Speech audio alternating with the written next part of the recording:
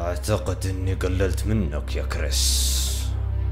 وفر كلامك يا ويسكر ما بقى أحد بيساعدك. أنا محتاج أي أحد.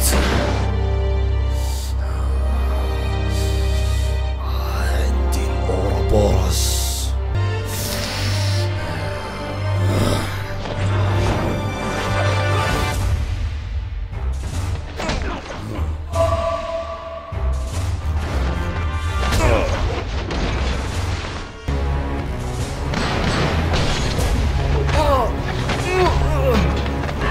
أنا اكتفيت كلامك الفاضي.